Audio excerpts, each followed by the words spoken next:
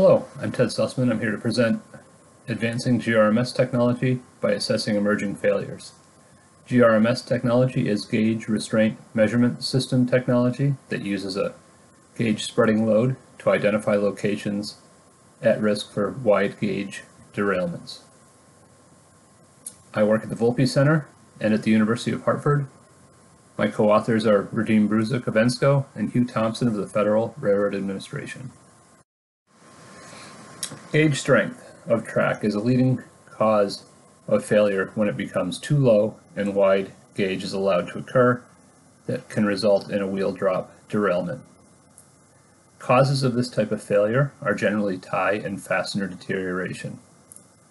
To measure track response to gauge spreading loads, a deployable split axle has been mounted on our T18 test vehicle. This split axle deploys and the picture is shown in the upright pos up position. During testing it will be deployed down onto track. A vertical load would be applied and a lateral gauge spreading load would be applied during testing. Measurements made under those load conditions are unloaded gauge away from the deployable axle and loaded gauge near the deployable axle. Critical gauge is typically 59 inches where the back of a wheel set dimension lines with the inside flange thickness. At that dimension of gauge, a wheel drop derailment is potentially likely. The deployable axle of the GRMS is uh, mounted on a frame that follows the track as the vehicle traverses over the territory. The frame is designed to maintain an LOV of 0.7 at nominal lateral force of 14 kips, vertical force of 21 kips. Those actual lateral and vertical forces can change as the uh, gauge changes or as the profile of the track changes. However, the system works to maintain an L over V of 0.7. And during testing, the actual forces are measured. The result of the test is a measure of the loaded and unloaded gauges that develop can be used to identify the change in gauge and that change in gauge is the main parameter that goes into the gauge widening projection parameter and projected loaded gauge parameter. Gauge widening projection is an indicator of deteriorated tie fastener system strength measured as an extrapolated gauge change under a critical load from unloaded to loaded.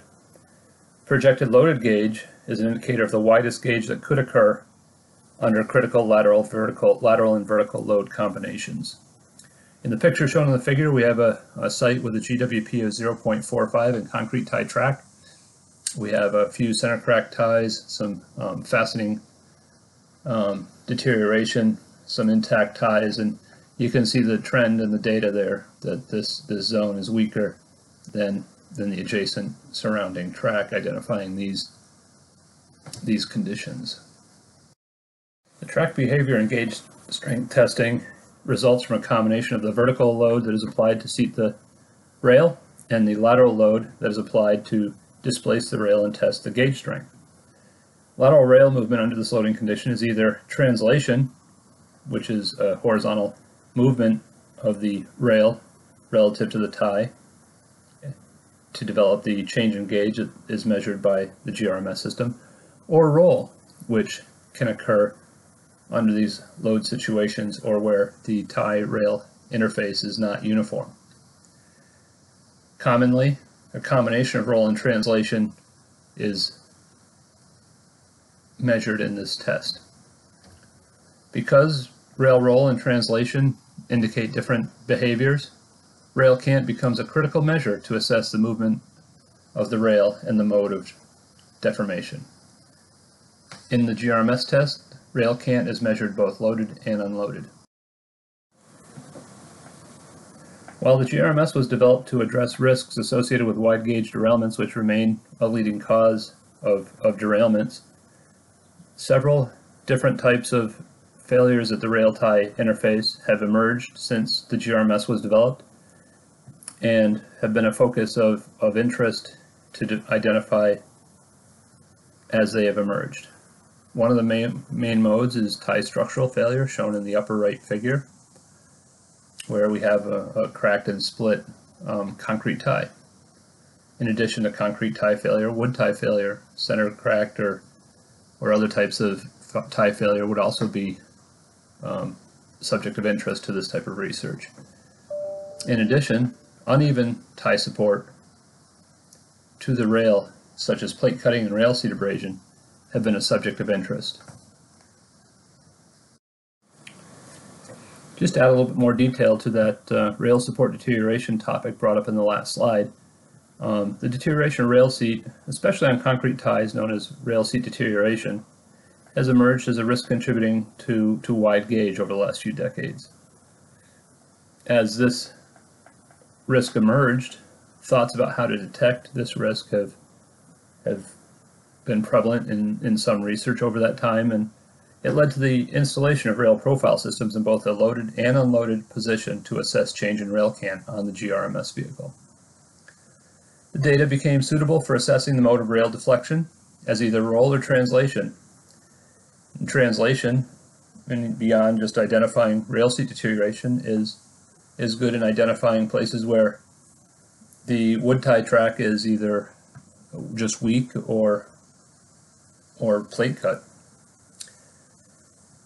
In addition to changes in rail cant, research on the measurement of the position of the rail base relative to the tie surface have, have been pursued in the GRMS test in order to assess if the rail or tie plate is wearing into the tie. But these measurements have met with somewhat limited success and do not provide the same level of detail that this change in rail cant can provide.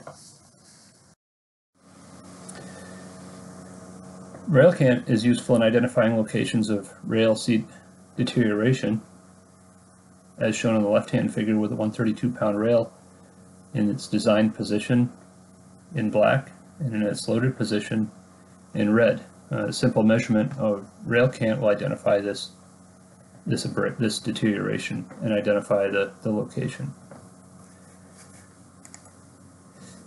In these locations circled in in these conditions circled in, in red, the unloaded and loaded position of the rail can be detected rail cant alone. So just uh, providing a vertical load seats the rail adequately to identify the zone.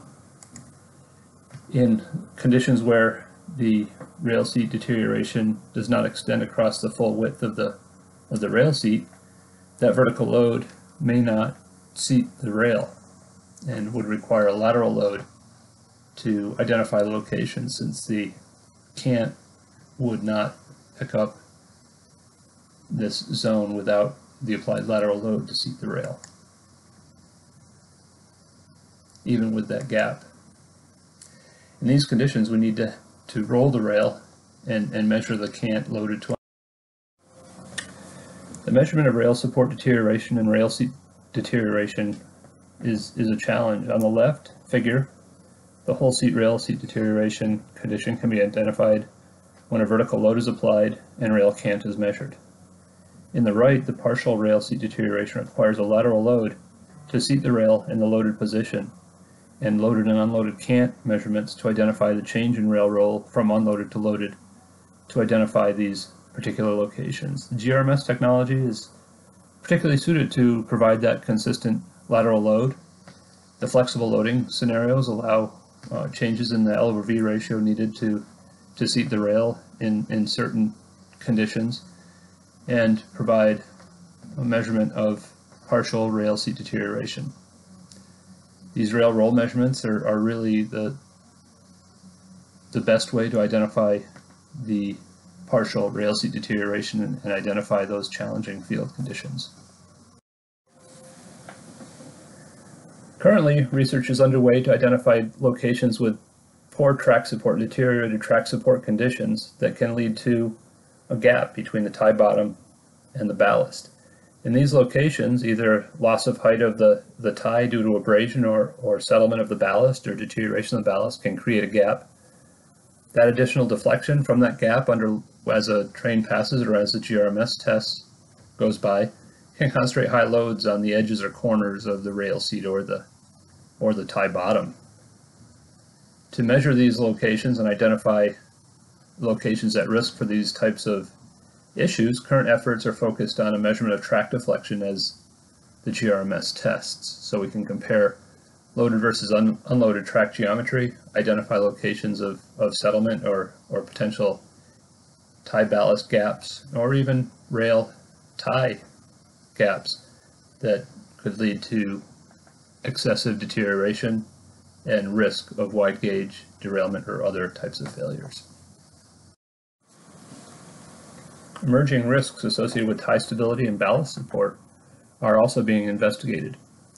The support conditions of the tie directly impact the tie performance under load, along with its longevity and safety. Measurements of tie support include the tie deflected shape to identify the ballast support conditions, and tie rotations, where in zones of variable track support, rail seat load can be concentrated on tie edge, and potentially inducing rail rotation as measured by some researchers. If rail rotation is allowed to occur in these locations, then wearing of the edges of the bottom of the tie can ultimately lead to rounding of the tie bottom, in extreme cases making the tie unstable on the ballast platform.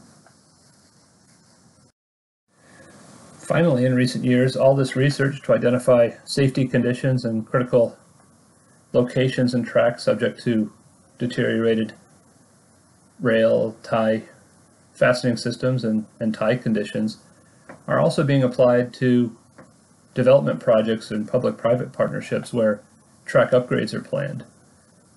In this image, we see some GRMS data that has been used and mapped in Google Earth using a KML file to visualize tie distribution requirements in a tie renewal project. The GWP gauge widening projection data that is probably the, the single best indicator of the rail tie interface deterioration is used to create this plot.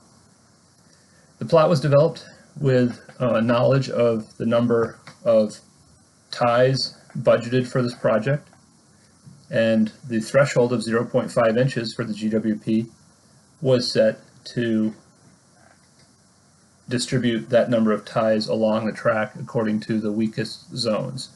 In the red zones, eight or more consecutive ties in a row were identified.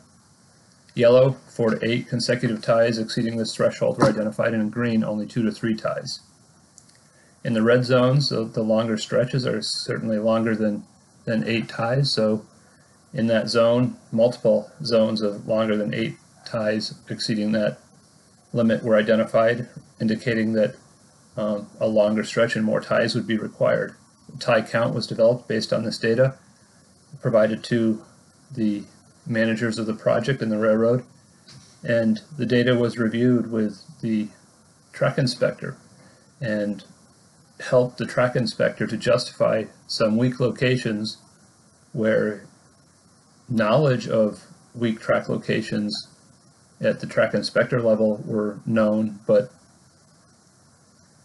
that knowledge did not lead to allocation of the appropriate resources in those spots. In those locations, this data helped to justify the additional ties in certain areas instead of having a more uniform distribution throughout the length of the track.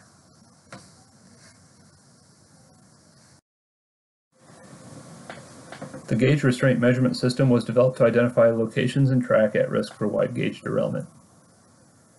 In the time since its development, the technology has been applied to other types of failures where the gauge spreading load provided by the GRMS can be used to exercise the track and identify other risk to failure. The technology is available as a rail-bound vehicle as shown in the previous slides or as a high rail vehicle from Holland Corporation should be kept in mind that GRMS is the only technology that provides a validated mechanistic evaluation of the track structure condition.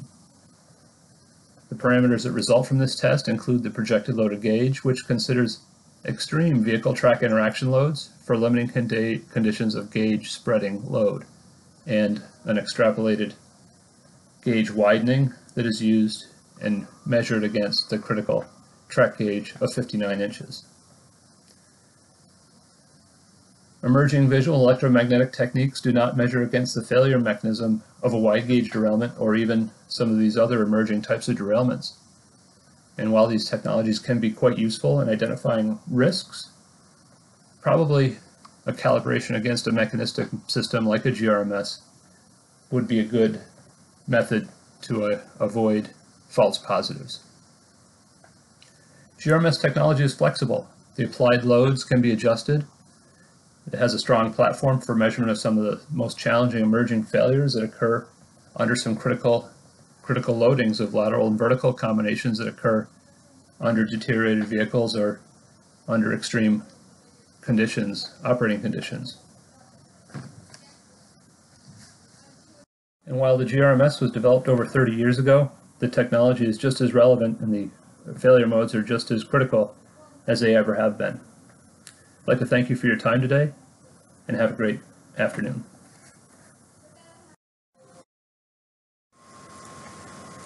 In this slide, we have a few references to some of the research that was alluded to throughout the presentation. Thank you for your time.